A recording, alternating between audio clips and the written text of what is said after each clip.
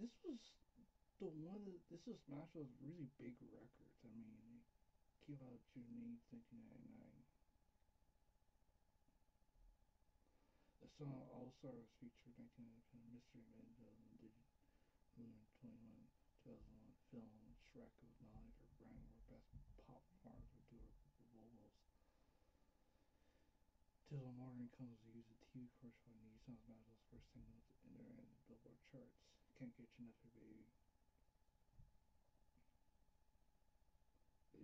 that was actually a cover it can include in the film Can't Hardly their version of the Quest American Mysterians the cover version as well as the Quest American Mysterians and 96 Tears that was released as a single and later appeared on the Astronaut the last on the album was Shores by one heart by one second.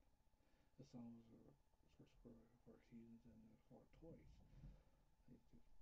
Both neither band released the song